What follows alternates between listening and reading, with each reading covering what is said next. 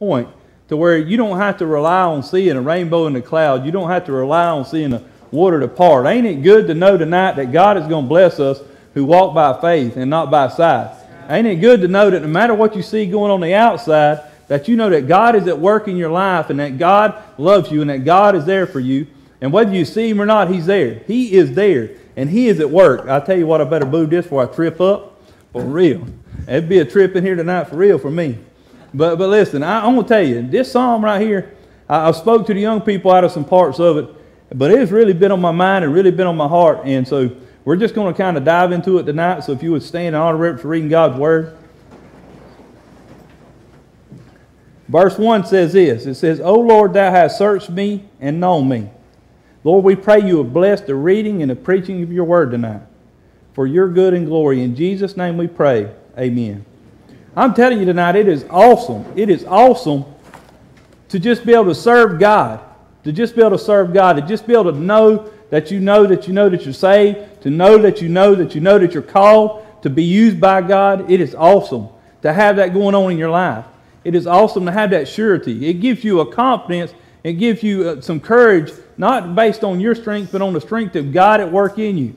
And the psalmist here, he was speaking about some things that, that really and truly can help you in your life that if you get a hold of them. But listen, the biggest thing is not just that it helps you, the biggest thing is that it will help you to be a better Christian and be able to better serve God. Because it's not just about how we feel in us. It's about what we can do for God. And so these words tonight can help you to better serve God. And that's what we all want to try to do is serve God better. We all want to be better people. We all want to know God better. And the psalmist explains tonight a lot of things about God. He said, O Lord, thou hast searched me and known me. Thou knowest my down sitting, my uprising. Thou understandest my thought afar off. Thou compassest my path, my lying down, art acquainted with all my ways. For there is not a word in my tongue, but lo, O Lord, thou knowest it altogether. Thou hast beset me um, behind and before. Lay thy hand upon me. Such knowledge is too wonderful for me. It is high, I cannot attain unto it. Whither shall I go from thy fear? Or whither shall I flee from thy presence? You see, it speaks about God's thoughts about us. That's one thing that, that sometimes we don't think about. You know, we know what we think of ourselves, we know what other people think of us. But, you know, this is just like God's thoughts about us. God knew him. God knew his thoughts. God knew his words. God knew everything about him. God had searched him. He looked at every little aspect of his life. God knew him better than he knew himself. And then he starts to speak and he starts to talk about, in verse 7, he starts to talk about, you know, somewhat his attitude toward God. Because we all just need to be honest tonight and admit that there are times in our life, there's some time in your life where you just wanted to get away from God. Where you just wanted to get away from God. You understand when, when the presence of God, the thoughts of God, um, I mean, the conviction of God, whatever it may have been, the call of God. You think of Jonah, the call of God on his life, the commands of God. Sometimes we want the, the commands that God gave us be far of our minds so we can just do what we want. I mean, you know, we try to flee from God in so many ways. It's not just physically. Sometimes Jonah actually physically try to flee from God, but sometimes mentally we try to flee from God. Sometimes with our life altogether, with our heart, we try to flee from God. But the thing that the psalmist had come to understand was there was not one place, there was not one little speck of dust, there was not one little um, um, vapor of air, there was not one space 10 million miles away in the galaxy 10 million feet under, uh, well, ain't even 10 million feet under us, I don't think, but all the way to the center of earth he could go. It didn't matter where he went. There was no place he could flee to to go away from God, that God is always with you. And that is an amazing thought that can help you to be a better Christian. Because it helps you to understand the simple fact that you can't get away from God, but listen to there's also no place that God can't go. There's also no place that God won't be.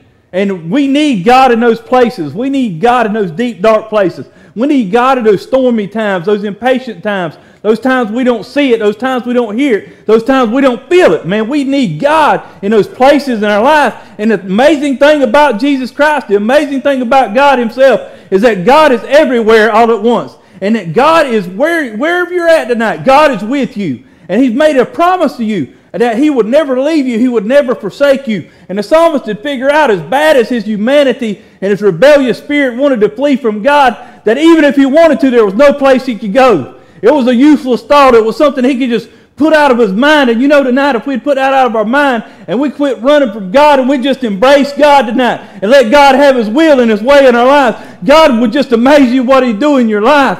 He would just amaze you what he'd do in your heart. If you just embrace him tonight. I mean, not just, not just tolerate him. Sometimes we just want to kind of tolerate God. You know what I mean? It's kind of like sometimes whenever you got teenagers, you just tolerate them, you know? Sometimes whenever your spouse, you know, don't listen just like they ought to, and you know you got all the wisdom right, and you got everything right, and you know you're right, and they just ain't listening to you. You just kind of tolerate them, you know? You, you understand what I mean? You're in the same room, you're saying things to each other, you might even be cordial, but you really ain't just all lovey-dovey. What God wants to do and what you need to do tonight is understand that we need to embrace God. We just need to wrap our arms around God as He wraps His hand around us and embrace God, the mighty power of God. But see, the thing that people won't want to do, they want the power of God, just like we talked about Wednesday night, young people, without the purity of God. First, what has to take place is you need the purity before you can have the power. God wants to bestow the power of God upon you and it work in your life, but the purity's got to come first. Just like in the early church in Acts, we read about how the power of God fell on the day of Pentecost. But what people don't realize is they were praying and they were fasting and they were up in that upper room and they were spending time with God and they were getting right with God. And God had purified their hearts and brought them to one place, one mind, one heart. God had done that. And then when it happened, when all that took place and the purity was there and they got right before Almighty God, then the power fell. And it just amazed people at what went on. But let me tell you something. That power doesn't come without a cost. Jesus Christ paid for us to be able to have the power of God on our lives on the cross of Calvary. His blood is what purifies you tonight. And I'm telling you, we need pure hearts if we're going to have filled hearts with the Holy Spirit. You can't have all that junk and hang on all that junk and be pure before Almighty God. We need purity. It is hard to embrace. See, we want to embrace the kind of purity that involves, you know, not looking at pornography or, or not doing this or, you know, not cursing or, you know, not, not killing somebody. We want to look at that kind of purity. And we say that's far enough. But what God wants, He wants all the hatred gone. He wants all the, the wicked thoughts gone. He wants all the evil intents of your heart. He wants the greed gone. He wants the pride gone. He wants all the things you like and make you feel empowered. He wants your control of your life and your mind gone. He wants you to understand and be submitted to Him. God wants your heart to be pure before Him tonight because God wants to pour out His power on you tonight. Amen? He wants to use you tonight. But you got to get pure before Almighty God. But He says there's nowhere He could go. He said, There's nowhere I go. He said, Listen to what He goes on to say. He said, If I ascend up into heaven, thou art there. If I make my bed in hell, behold, thou art there. If I take the wings of the morning and dwell in the uttermost parts of the sea. Listen to what He says right here. Even there shall Thy hand lead me, and thy right hand shall hold me. That's his hand of power. That's the place of power. God's powerful hands upholding you. There ain't nothing you can pull down the hand of God. God has got you in his hand. Ain't going nowhere, is what he said. He said, Thy hand upholds me. He said, If I say, Surely the darkness shall cover me. See, here's what I want you to see tonight. There's a distinct difference between the way we feel and the way we look and the way we think about things and the way God thinks about things. There's a really big difference. And it's something we can't help right now. We're just human, He's God. But look at what He says right here. Look what He says. I love this. I, have just been amazed with these couple of verses right here. And I, I, I can't get to the depths of them, I, I can't wrap my mind around them. But look what He says. He says, If I say, Surely the darkness shall cover me. You ever feel that way sometimes? You ever feel that no matter which way you turn, you're just surrounded by darkness? You ever feel like I, I hear people tell me there's not a week that goes by that somebody don't want me to pray for them because they just feel like everything's falling apart or everything's closing in around them. Sometimes it may not even be real things. It may not even it may just be worries about things, but just this darkness pulls in around them and they just feel trapped. But look what it says, and they don't know which way to go, they don't know which way to turn. That's why they come to you, because they don't understand what to do. They feel helpless and hopeless and in the dark. But look at what God says. It says, Surely the darkness shall cover me, even the night shall be light about me. What he says in verse 12, he goes on to explain it even more. He says, Yea, the darkness hideth not from thee, but the night shineth as the day.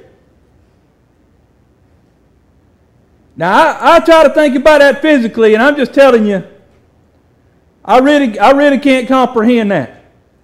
Because I have eyes that when it's dark I can't see. And when it's light I can.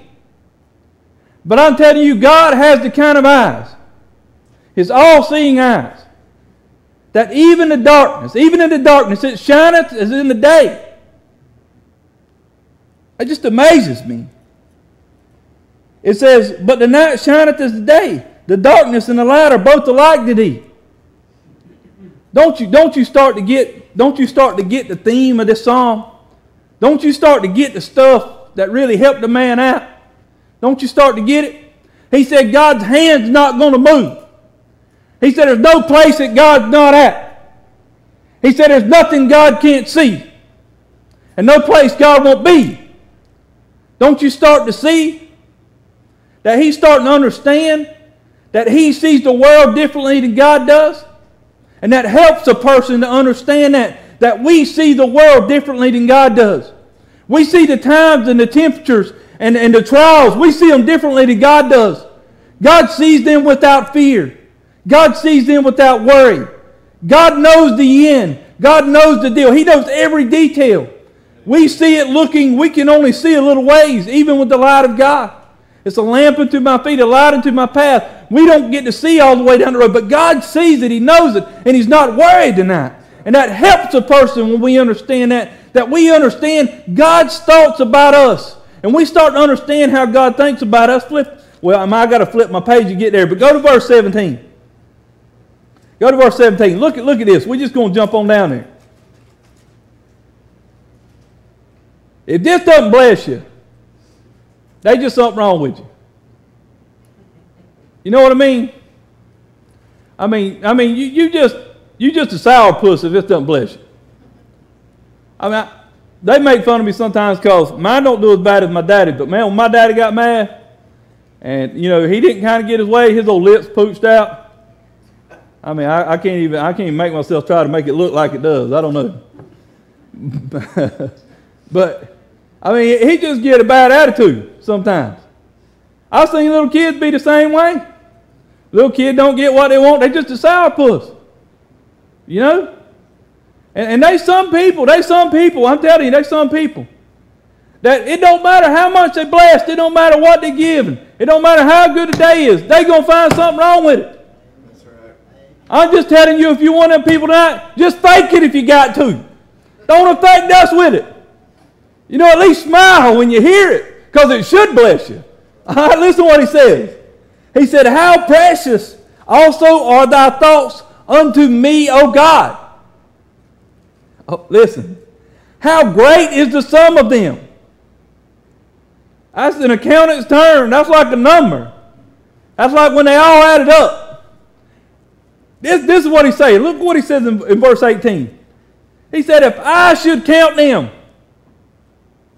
he's saying if he took the time, if there was some kind of way that he could take each time that God thought about Jesse Crawford, each time that he thought about Janice Thornton, each time that he thought about Trey and Kyle and John, each time he thought about every one of them, if he could take just the time that God thought about him, him personally, the psalmist himself, just that one person, just that one person. Listen to what he said he would have if he added them all up. he said, They are more in number than the sand. Now that ought to bless you tonight. That ought to bless you tonight. I don't know about you. Man, I cannot, I cannot even think about counting the sand in the beach. It's hard to even keep up with the sand that gets all in your body in different places when you go to the beach. I mean, it's just hard to get them all off of you when you get home. But he said, he said, it's in the Word of God that God's thoughts about him were more than the sand. I, I, don't know if you've ever seen that in the Word of God, but man, I'm telling you, when I run across this, I was just like, wow. I was just like, wow. All the times, you just think about all the times you think you ask the question, where's God at? When's God going to move? Why has God forgot about me? There's no blooming way that God could think about a man as many times as the sand in the, eh, eh, the sand everywhere. The sand everywhere. There's not a time God ain't thinking about you. That's what he's trying to say.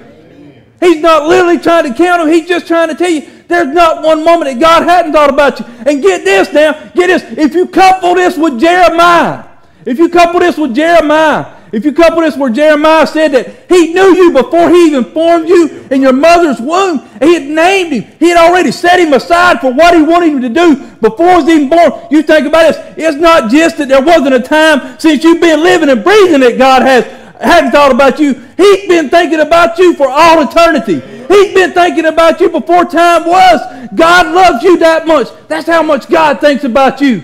And I'm telling you tonight, if we get hold of that, know that God loves us the way He loves us. He looks after us the way He does. And He thinks about us the way He does. I'm telling you tonight, it will bless your heart. It will bless your soul to understand God's thoughts about you. God's thoughts about you. God thinks about you. God loves you. God loves you.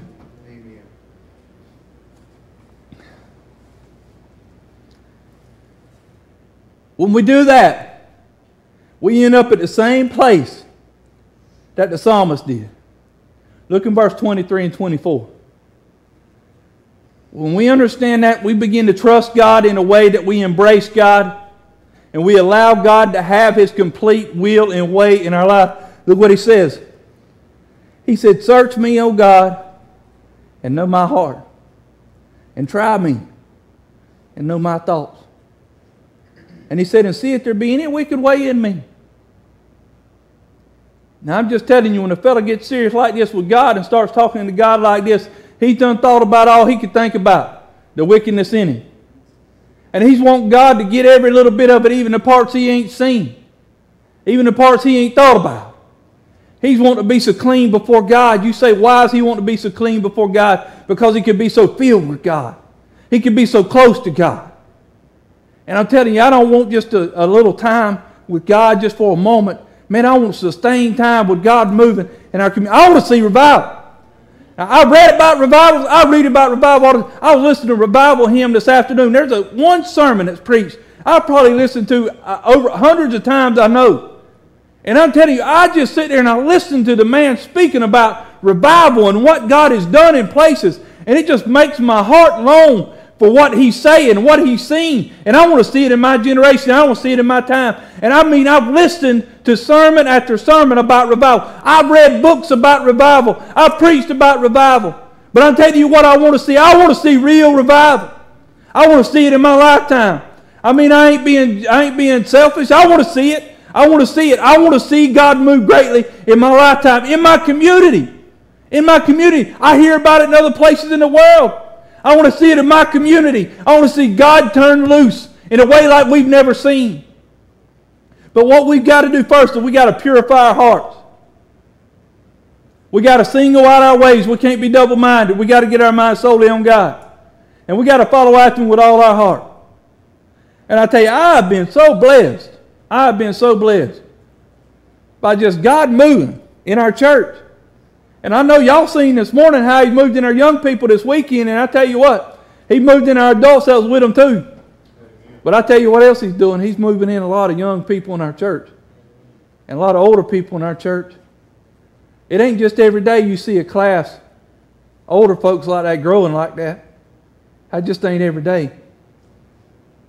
That just ain't every day when you see young men start to start to hunger for God starting to want to learn to study the Word of God. It ain't just every day. But I see it. And I see a lot of things you don't see. Because people talk to me about things they don't talk to everybody about. But I'm just going to tell you tonight. I got the privilege tonight to um, take one of our young men and bring him on up here. You come on here, Brian. And Brian's got something he just wants to um, say to the church tonight. And I'm so proud of him. And I think you're going to get to see a little bit of some of the things I've been seeing. And so um, you just share with them what you want to say tonight. I've been coming to church here for about four years now, and I felt like I had control of my life. I felt like, you know, I had this pride. I, I got it under control, and then I realized I don't ha- I don't have nothing under control. I don't have nothing. I had a situation with Kaylee, my mom and dad. They're all in the hospital, and I was like, I just I didn't have nothing. There was nothing I could do about it. Nothing. There was nothing I could do. I called Brother Greg. I said, Hey, this is what I got going on. He said, well, I'll pray for you, brother. And we prayed. He prayed to me on the phone, and it, it just come over me. I said, You know, I ain't in control of none of my life. I just had to give all of it. Not live, not ride the fence. Just give all of it to God. And I did, and I just the burden was just lifted off my back, and joy, everything was established in my life again. I just, I just opened my heart. Just great.